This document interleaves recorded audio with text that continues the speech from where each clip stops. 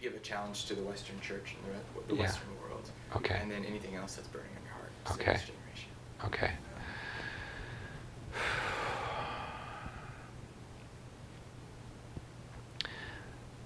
I'm pretty excited Sono entusiasta quando vedo la fede di alcuni dei giovani oggi che dicono io Dio andrò ovunque tu vuoi, farò qualunque cosa. Non c'era molto di questo quando io sono cresciuto, ma quello che succede con quelli che avevano questa fiamma, questo entusiasmo, ho visto come la Chiesa li ha schiacciati. E prego per la prossima generazione, per i giovani che dicono io andrò ovunque, farò qualunque cosa e lo fanno, vanno all'estero o dove sono, nella città, nel quartiere, dovunque. Dico voglio essere radicale, voglio seguire Gesù completamente, voglio tutto. Non mi interessano i giochi, non mi interessa quello che mi intrattiene anche nella Chiesa, voglio seguire Gesù e sperimentarlo. E la mia sfida alla Chiesa è per quelli che hanno la mia età, quelli che sono già andati avanti. Vuoi dare l'esempio per i giovani? Perché quello che succede nella mia, è successo nella mia generazione quando eravamo giovani, c'erano quelli che erano radicali, ma una volta che si sposavano tutto cambiava, quando avevano bambini tutto cambiava. E io prego, Signore, posso essere un esempio, qualcuno che è sposato e ha figli e continua a pensare al regno prima di tutto. Prima Corinzi 7, tutti quelli che sono sposati vivono come se non lo fossero.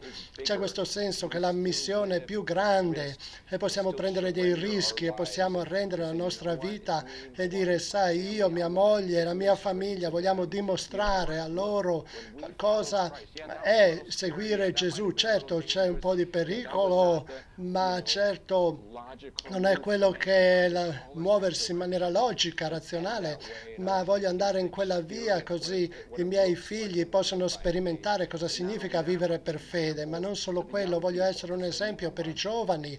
Guarda, la tua missione con il Signore non finisce quando tu sei sposato o quando è il primo anno di matrimonio, tu ti vuoi focalizzare uno nell'altro, hai figli, poi o prendi tempo per quel piccolo bambino e poi quando andranno a scuola sarai libero, ma poi quando sono a scuola o sono teenager e allora vuoi raccoglierli, tenerli stretti e tu gli insegni questa mentalità che non è andare fuori ad essere un operaio nella raccolta, ma devi proteggere la tua famiglia, vuoi trovarti in una comunità dove ti senti sicuro, dentro la tua casa, lontano dalle persone cattive, ma non ci sono scuse per questo. Questo non è quello che troviamo nella Bibbia.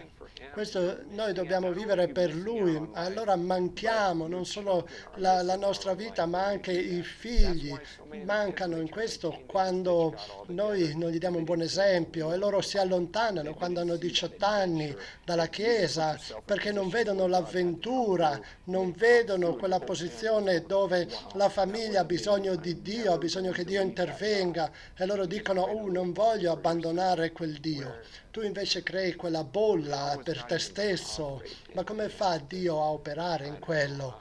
Non so.